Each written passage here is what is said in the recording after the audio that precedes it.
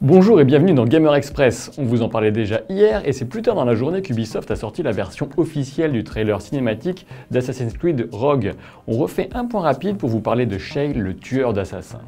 Et oui, il y a des gens comme ça qui adorent massacrer les espèces en voie de disparition, et Shay Patrick en fait partie. Depuis qu'il a été trahi par la confrérie, ce sont les assassins que ce Templier inscrit à son tableau de chasse. Certains joueurs crient au scandale, mais personnellement je trouve ce changement de perspective très intéressant. Cela pourrait apporter une certaine fraîcheur, en plus de celle du climat de l'Atlantique Nord, à condition que Shay ne se comporte pas exactement comme un ancien assassin. Développé par Ubisoft Sofia avec l'aide d'autres équipes, le jeu est une exclusivité PS3 et Xbox 360. L'action se déroule durant la guerre de 7 ans entre 1756 et 1763 qui opposa notamment la France au Royaume-Uni du fait de leur rivalité en Amérique. Et c'est principalement dans le nord de l'Amérique justement que devrait se dérouler cet opus qui sortira en France le 12 novembre prochain. Une édition collector est déjà en précommande sur le site d'Ubisoft. Mortal Kombat X nous propose de découvrir en vidéo les prouesses du dieu du tonnerre Raiden. Ce personnage emblématique du jeu de combat fut si brillamment incarné sur grand écran par Christophe Lambert qu'il est impossible de l'oublier.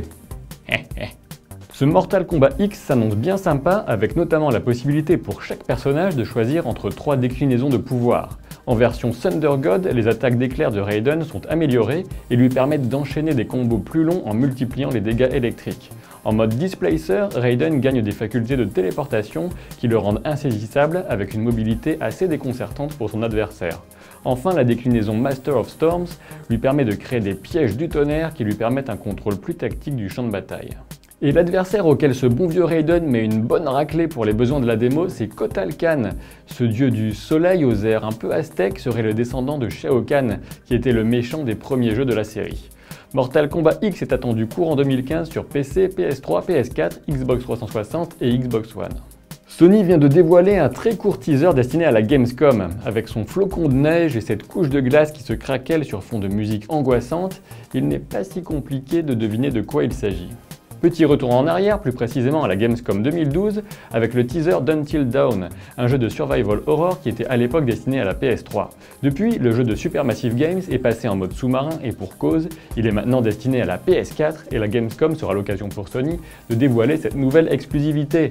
Il suffit de comparer l'ambiance de la courte vidéo avec celle utilisée à l'époque pour reconnaître la thématique commune du froid et de l'angoisse. Des jeunes adultes qui se retrouvent dans une maison isolée en forêt en plein hiver, il ne manque plus qu'un tueur fou pour que la fête commence. Et même après avoir deviné de quel jeu il s'agit, nous avons toujours envie d'en voir plus car il pourrait s'agir d'une belle surprise dans un genre pour l'instant peu fourni sur console next-gen. Pour cette question du jour, on aurait pu vous parler du report d'Evolve en février 2015, mais répondons plutôt à ceux qui nous demandent des infos sur Blizzard et dont on a perdu le nom, mais salut les gars, je suis sûr que vous vous reconnaîtrez.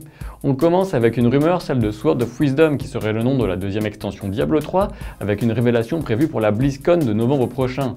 Alors on a un doute sur ce nom, alors qu'en revanche, une révélation à cette occasion est fort probable. Par ailleurs, on apprend que World of Warcraft a perdu 800 000 abonnés en passant de 7,6 à 6,8 millions. Malgré tout, avec 1,5 million de précommandes de l'extension Warlords of Draenor, dont la bêta commence très prochainement, Mike Morhaime s'attend à un rebond du nombre d'abonnés. Enfin, côté financier, les chiffres sont très bons, tout du moins du côté chiffre d'affaires, avec une progression de 50% sur un an, notamment grâce à Diablo 3 et Hearthstone. Un dernier mot pour signaler que les gagnants des goodies pour la deuxième partie du concours Gardien de la Galaxie sont Jeko 753 et Ovazac pour les tapis de souris, et les étuis iPhone sont remportés par Obika et Uboseb. On attend vos coordonnées ainsi que celles de Henri Lumi qui ne nous a toujours pas envoyé les siennes. Merci de nous donner donc vos noms et adresses avec votre pseudo YouTube par mail à la question Gamer Express c'est fini pour aujourd'hui, on se retrouve demain, et d'ici là, bah oui, jouez bien